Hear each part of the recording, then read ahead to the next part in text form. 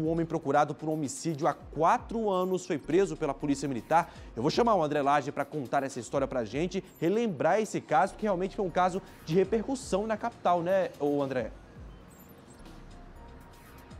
Exatamente, Mobile. Esse homem que foi preso na noite de ontem, ele é suspeito de cometer um crime de matar uma mulher trans, isso no Sudoeste em 2020. Como foi a prisão dele? A Polícia Militar informou que uh, o 4 Batalhão de Polícia da, estava fazendo ronda ali na região do Lúcio Costa e encontrou um homem andando ali próximo à EPTG e ali com fortes sinais de embriaguez, inclusive perigoso ali, uh, perigando ser é, atropelado ali na região. Então os policiais foram até esse homem, começaram a conversar com ele, pediu para que ele se, se retirasse lá do local e começou a conversar com esse homem. Esse homem começou a dar nomes falsos, inventar histórias. Em um determinado momento, ele chegou a dizer para os policiais que era procurado pela polícia, que tinha um mandado de justiça em aberto por justamente matar uma pessoa. E nesse exato momento, ele subiu e tentou se jogar ali da ponte. Mas os policiais conseguiram uh, agarrar este homem, segurar ele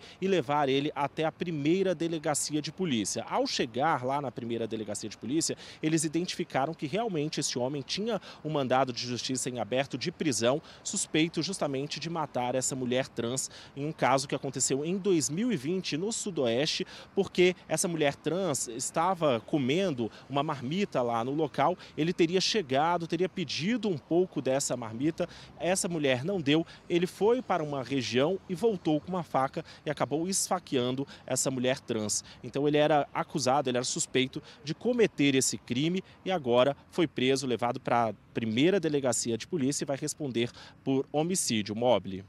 Obrigado pelas informações, então, André Lage. Até já. Aliás, né, nós temos aí a entrevista do Major Brook, que conta os detalhes, viu, André Lage, dessa prisão aí, porque realmente foi um showzinho que esse autor quis dar, mas não deu certo não. Rodou.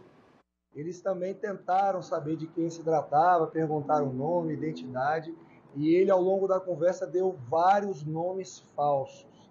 Então, os policiais militares continuaram insistindo para saber de quem se tratava, quando ele, no momento de clareza, falou que era foragido da justiça e tentou se jogar imediatamente do viaduto. Foi quando a reação dos policiais foi imediata. Eles conseguiram segurar o indivíduo pelo braço. Depois dessa situação, conduziram à delegacia e lá foi identificado que esse indivíduo era foragido por um homicídio cometido no setor sudoeste em 2020.